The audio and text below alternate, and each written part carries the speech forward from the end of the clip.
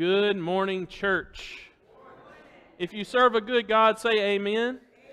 amen. Amen. We serve a great God, and we're glad that you're here with us.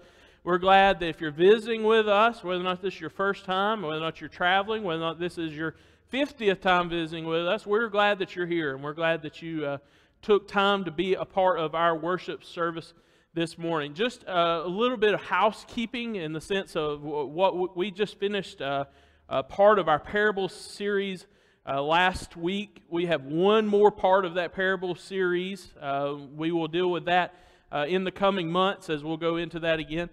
Next week, we are actually going to begin a series of lessons about the Holy Spirit. So uh, I know that many times we talk a lot about Jesus and we talk a lot about God. Uh, and sometimes the Holy Spirit gets lost because there's some mystery surrounding the Holy Spirit. Uh, this is not shouldn't be a news flash to us that are Christians, but it's supposed to be that way. Okay, and uh, but we're going to begin that series next week, and we'll begin a, a, series of lessons really talking about the Spirit's role in the church and in our lives. And I, I hope that you'll make plans to be here and be a part of, of that with us. We're going to do. Uh, just a kind of a one-off sermon this morning. Uh, it won't be part of a series, but uh, and I come to lessons like this, and I think they're really important for us as a church. And I think they're really important for us as a church specifically because we are a multicultural church. And uh, we don't stray away from that, we don't hide that, we celebrate that. Uh, and we want to be people who celebrate about that. But as a part of that, we also realize that we have to talk about issues and things that sometimes revolve around race and culture. And, uh, you know, sometimes, you know, I'm, I'm a white dude, okay? Uh, newsflash for everybody, right? Uh, and, uh, thank you. Oh, really? Uh, I sometimes jokingly say that, that God really wanted me to go preach in a black church because I really, you know, I love preaching for black congregations, and and uh, but um, you know we've got to deal with these things, and I, I, want us to, I want to lead in these discussions, but I also don't want to ever come across when we talk about these sort of things as someone who has it all figured out. Uh, I don't. When I come into lessons like this, I think it's important to open up this dialogue that we have sometimes about issues surrounding this but also I also understand that sometimes I may misspeak. I may not say things just right.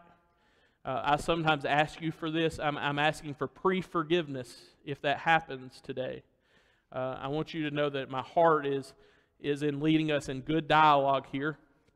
Uh, and we're really not going to deal directly with racial issues today, but it's definitely something that has stoked the fires. Uh, September 6, 2018, uh, many of you will remember uh, may not remember the day, but you'll remember what happened with Botham Jean. Botham Jean is a, was a student just a few years ago at Harding University. He's a member of the Church of Christ. He was a member of the West Dallas Church of Christ. And uh, he was shot in his apartment. He was on his couch eating ice cream. Uh, Amber Geiger uh, walked into his apartment, uh, in some way believed that it was her apartment, uh, and ended up shooting him to death in his own apartment. I've wrestled a lot with this whole thing. I've wrestled how to address it, how to talk about it, how to deal with it.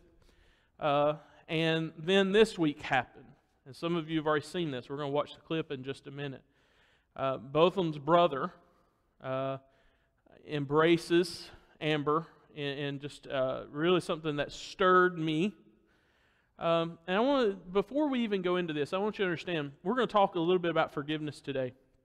And we're going to talk about mercy. We're going to talk about grace. God is all those things, and He's passionate about all those things. God is also a God of justice. And as we partner with God, uh, that's the cool thing about being a Christian. I don't, I don't know if we really process this out sometimes, but from the very beginning of time in the garden, you know, God could have made a system of things where everything just worked. He didn't do that. He made a system where man would come in and while we were we didn't deserve this, but he said, I want man to partner with me. And he gives man creative responsibilities. I want you to name the animals, I want you to cultivate the ground, and I want you to ultimately make everything around the garden like the garden. He, he, so God brings us in as partners to this. And therefore, if it's important to God, we're a partner in that. And so we're a partner in grace, and we're a partner in mercy, but we're also a partner in justice. And I don't ever uh, as we celebrate mercy and grace this morning, I don't want us to, I don't want you to think that I don't believe God's passionate about justice. I believe He is. As a matter of fact, if you'll look at what happens within this family, you're going to get different pictures as different people are grieving and handling these things different. And uh, Botham's mother really gives kind of a, another narrative to this whole thing as she deals with this thing. And her father, too. As a matter of fact, they were on Dr. Phil this week. I don't know if you saw that. Uh, I don't normally endorse Dr. Phil shows from the pulpit, but uh, I really do think it would be good for you to watch that if you get a chance to. But here's what happened in the courtroom this week. Uh, the sentence was already given out. Everything was already, and these were, I guess you was, they were victim statements, statements from the victim's family. And uh, we're going to play that video. If you haven't watched it already, uh, I think you'll find it impressive if you have watched it already, uh, as it has me every time I've watched it, I'm touched. So uh, let's watch that together.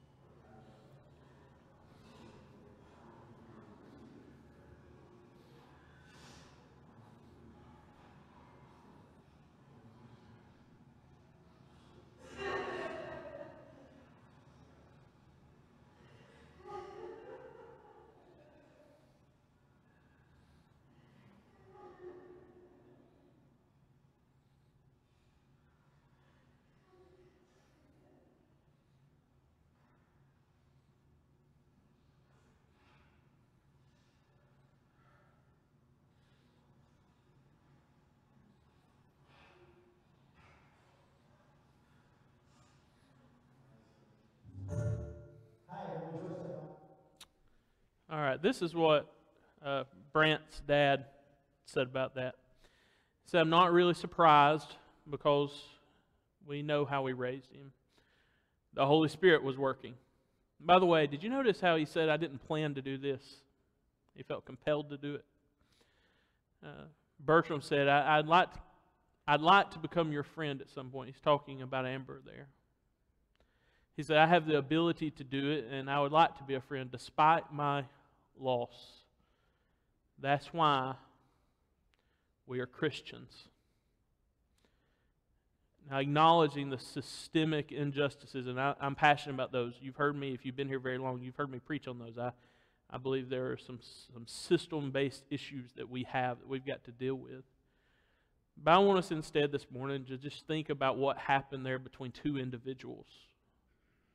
What happened between someone who was a Christian, and I believe the Holy Spirit was working and active in his life, and what happened between this lady who's just been convicted of murder. I've read a lot this week, a lot of reactions. It almost made me scared to even talk about it at all. Um, but one reaction I saw over and over and over and over is, I could never do that. You know, I would like to think that I could do that. Um, my fleshly part of me, you know, if somebody, my brother or my wife or my child, if that happened to me, I, I don't, I don't know. Uh, and that's why it doesn't make sense. And I have no reason to believe that a fleshly person is, and that's why the world didn't understand this. The world didn't understand it at all because it was not worldly. I believe there was something divine about what happened there. I think God was working there. And I believe and hope and I pray that we work and, and deal with these systemic issues, but I, I just want to I want to take a minute to, to praise our brother in Christ for taking a moment when he's on a national stage to, to give Jesus to somebody. Uh, you know, there's nobody in this world that doesn't need Jesus. And when you're given a stage and a platform like that, I, you know, I almost thought about this. I thought about, you know, there could be a day because of what happened in that courtroom that Amber Geiger and Botham Jean, meet in heaven. And I got to thinking about, you know, you think about Stephen and when he went out and he, he held the coats or not Stephen, but Paul when he went out and held the coats when Stephen was being stoned. You know, they've been reunited since then. That's cool. That doesn't happen without God. Uh, I think about several other biblical stories where people were wronged or hurt, or uh, I, I, thought about David and Uriah the Hittite, right? Uriah was wronged in such a powerful way by David, and you know, but I believe that Uriah was a, a faithful person in the kingdom of Israel, and I believe David, uh, despite his sin, is, is with God. You know, there's been a reunion of those two people, there's been a reconciliation. That doesn't happen without God. And to the world that watches, it truly is foolishness. Because it's the world's not expected to look at things the way we Christians look at things. We're called to look at things differently. We're, we're required to look at things differently. We're required to see the least among these, and we're required to look at people and see, you know, God, you know, the world doesn't value this person, the world doesn't value this situation, but I do because I partner with God. And my partnership with God demands it, it requires it. The Corinthian church dealt with a whole lot of division. If you want to read a letter, you know, sometimes we we have a tendency to be real quick about, well, that's not a church anymore. They've done something we don't like. Uh, let me tell you something. There's a whole lot of churches walking around that haven't even come close to touching the church at Corinth. God had not given up on them, and He's working to heal a lot of those divisions. And He's working to, to work in those divisions to bring about some peace. And God becomes very, uh, uh, Paul writes here, and it's, it's a very passionate plea about what's about to happen here in the city of Corinth and the church at Corinth and what's happening. And as he really is beginning this first letter, and you know, he'll go on to write another one uh, or another letter. And the first letter deals with a whole lot of stuff, a lot of issues within the church, a lot of division in the church, and he really calls them to rally. And we get to Second Corinthians and we find out they fixed some of their problems and they got more problems. And that's church work, by the way. You, are going to deal with problems. You're going to have these periods of good, and you're going to deal with problems. And then what's going to happen on the other end? You're going to come out with more problems uh, because people are involved, and where people are involved, there's going to be trouble. There's going to be problems. We're going to have to work through things. And it's, it's a struggle, though. And, and Paul's writing there in, in the very beginning of 1 Corinthians, and he's trying to kind of rally them around some things. All right, you're all Christians. You all need to rally around some of these common things. And he brings up this message in 1 Corinthians 1, beginning at verse 18. He says, For the message of the cross, by the way, what you saw happening in that video, that was the gospel. That was the good news. That it doesn't matter what you've done, God's concerned about what you're going to do. So the message of the cross is foolishness for those who are perishing. But to us, but to us who are being saved, it is the the power of God is the powerful working of God. That word for power there, it, it, it has a sense in which it talks about the explosiveness, the overwhelming power of God. You know, the message of the cross does not make sense to the world, but to us that are Christians, to us that are being saved, it makes a whole lot of sense. And it's not because of our logical brain. It's not because we can sit down and write on piece of paper why this all makes sense. Even though I believe the I believe the gospel is logical, but in certain ways, when we talk about our fleshly pride, it's counterintuitive because it tells us to think less of ourselves and more of others, and that's not what we naturally do. We naturally want to promote ourselves and put others down at the cost of our personal gain. He says, so the gospel of the cross, the good news of the cross, the message of the cross, that's foolishness if you're not a Christian. But for us that do know Christ, for us that are Christ, for us that are seeking to be lights of Christ in this dying, fallen world, it is the power. It's the only thing we lay claim of and lay stake to. It is the power of God. For it is written.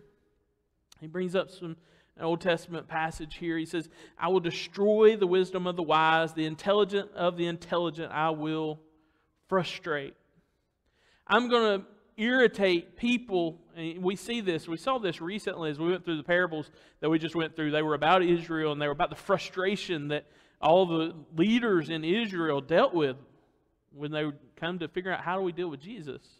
He says, I will I will frustrate them because the wisdom that I'm bringing is different than the wisdom that you have naturally.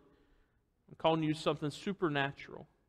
Where is the wise person? Where is the teacher of the law? Where is the philosopher of this age? Has not God made foolish the wisdom of the world?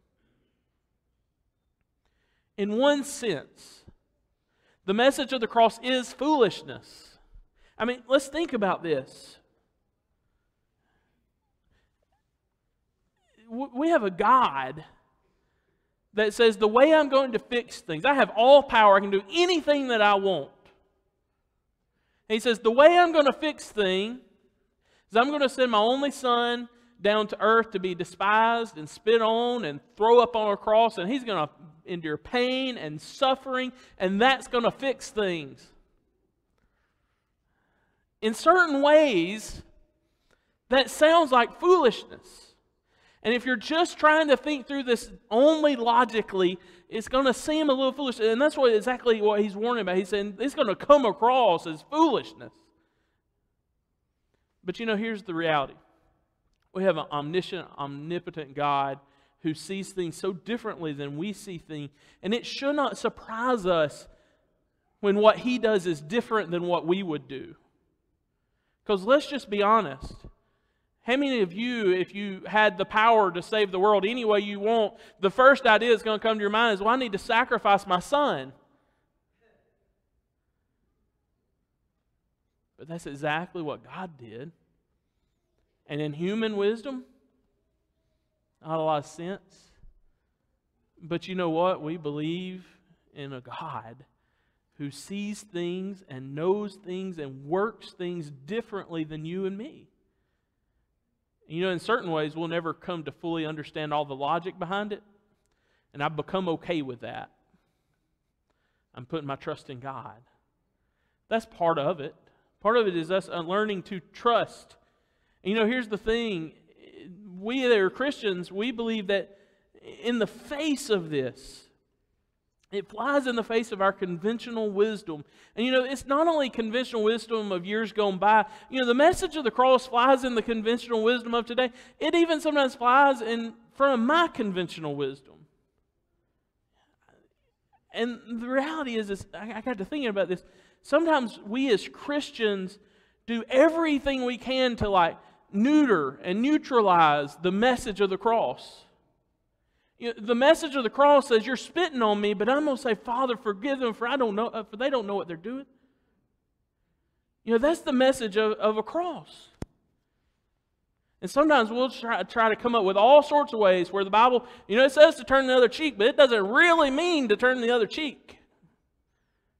You know, it, it baffles my mind sometimes when we think about this like we've totally neutered that verse and we say, well, that doesn't really apply to me in this situation or this situation or this situation. It only would apply in this very, very, very specific situation. It's not the gospel. The gospel says you, you look people in, you you look your enemies in the face and, and you love them. That's the message of the cross. That's what Jesus did when he sat there in certain ways, now that I'm a Christian and as I try to grow in my faith, I don't know if there's any other way that I could know the heart of God than through that image. That image of, of a beaten Savior looking out to his enemies, those who had professed themselves as enemies of him and the cross that he was on. And they spit, and he says, Father, forgive them. I can know the love of God in the cross and in the cross alone. Paul continues on here.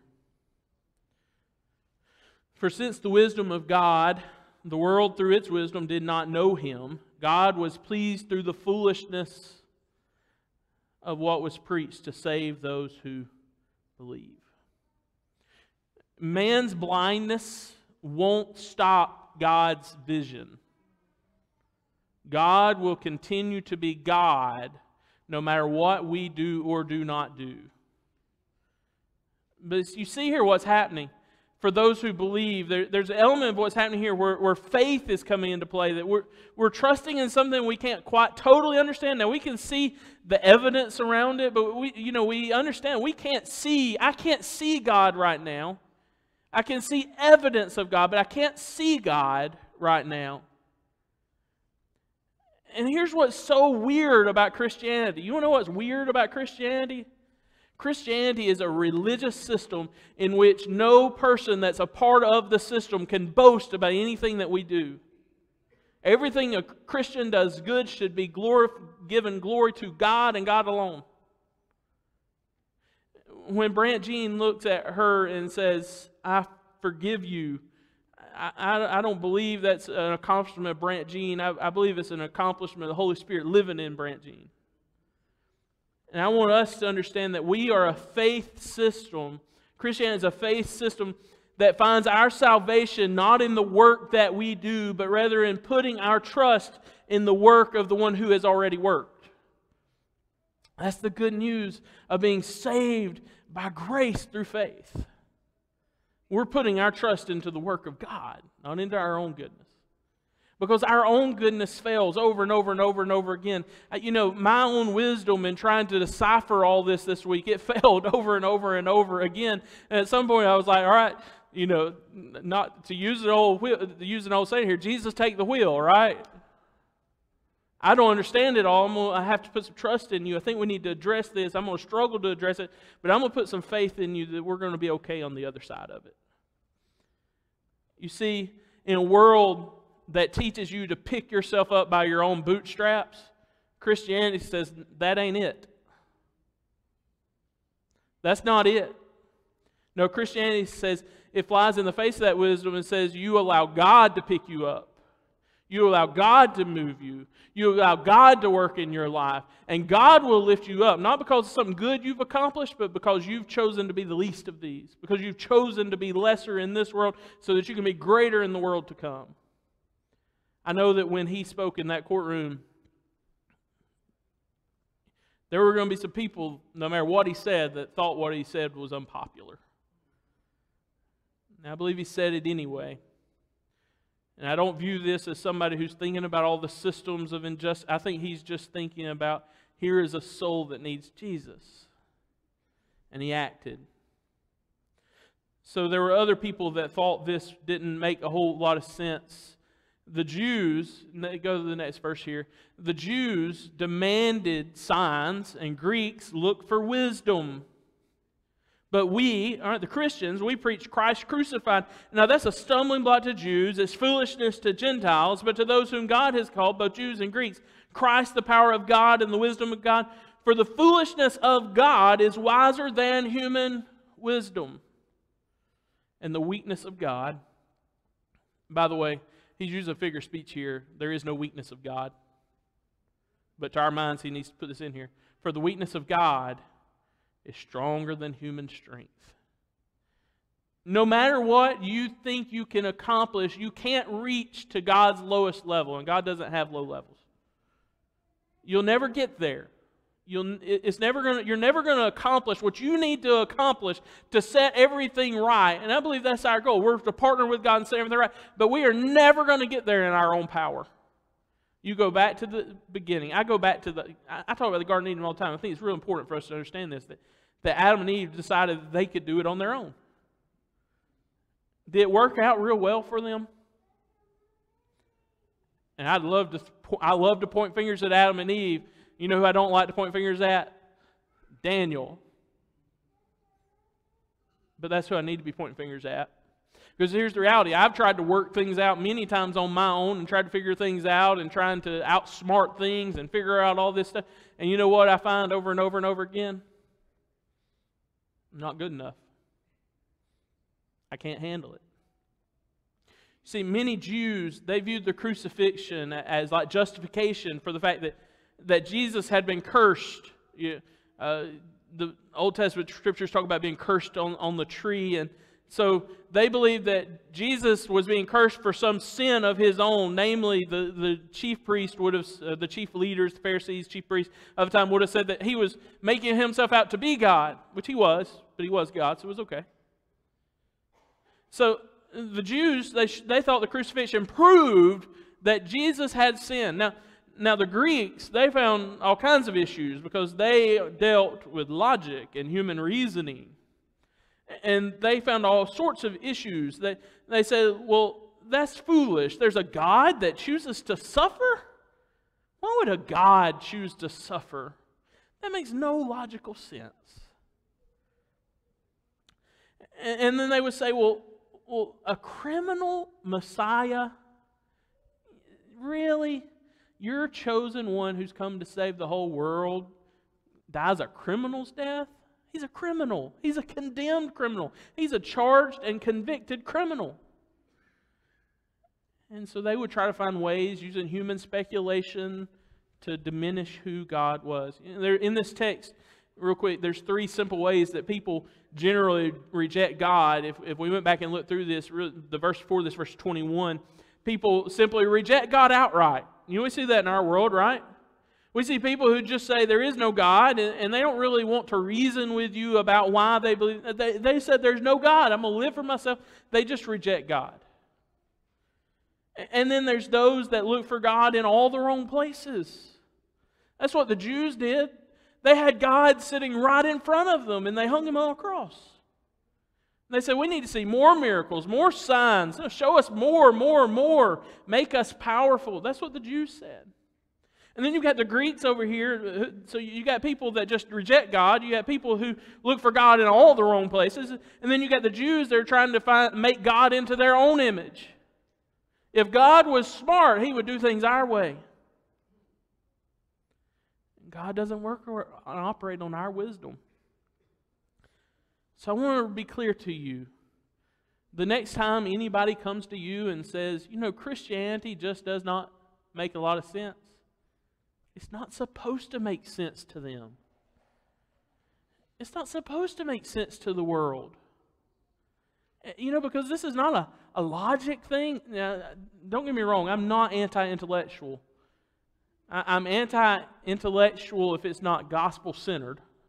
But I'm not anti intellectual. I, I, believe we need people who continue to reason and study and grow in the scriptures and bring that in front of people. I wholeheartedly believe that. I'm not anti intellectual.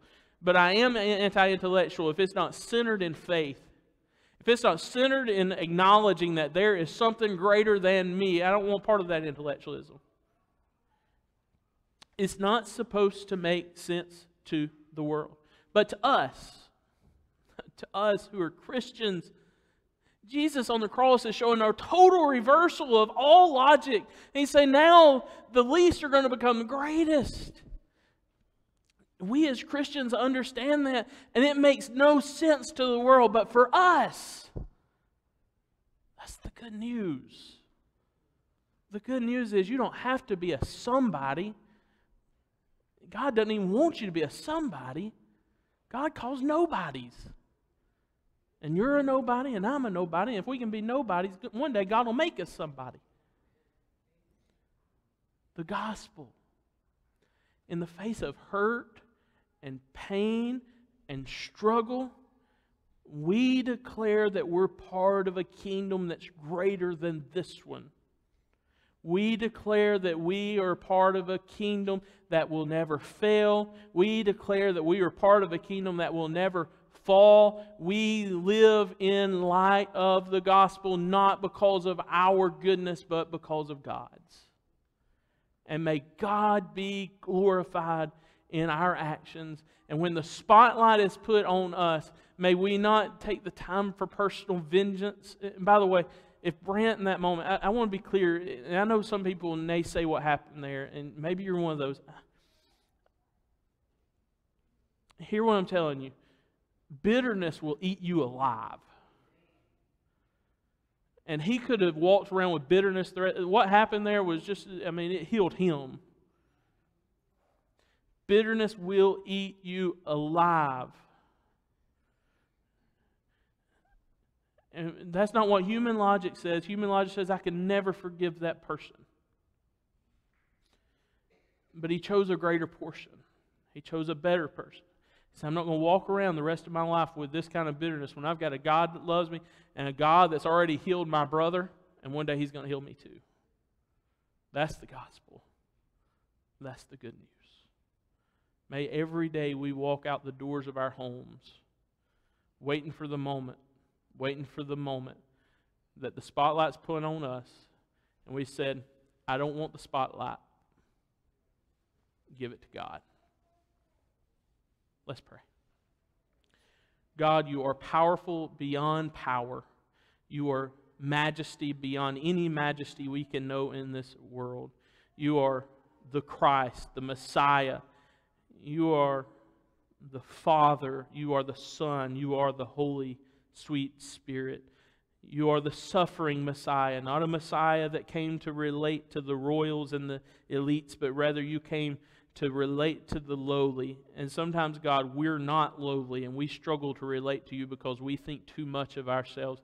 May we repent. May we turn our focus and our portion to you. May we give glory to you and you alone.